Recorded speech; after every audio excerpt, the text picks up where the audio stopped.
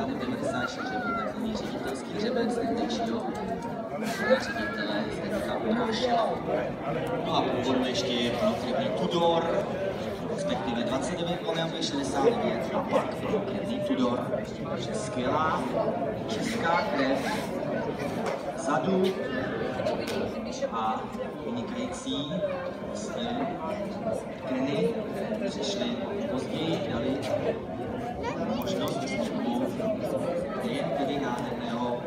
Kvidamera M, kterého nyní vidíme, ale i Kvimera, který reprezentuje Českou republiku.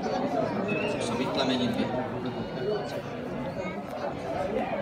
Takže já prosím paní Lenku Karle,